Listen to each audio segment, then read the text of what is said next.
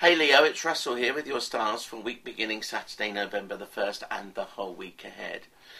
It's Tuesday, that's the very big day. More about that when we come to it. For today, there's a lot in the sign of Sagittarius which actually is very good for you. However, I do feel that if there's going to be a bugbear, a problem, it's going to be over money.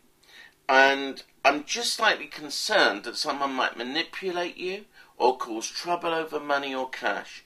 If you can veer away from money or any discussions or any anything really to do with money or cash or anything like that, the material world, you will fare so much better.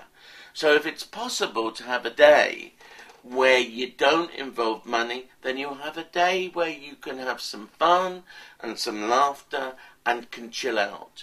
Bring money into it, and it'll be the opposite.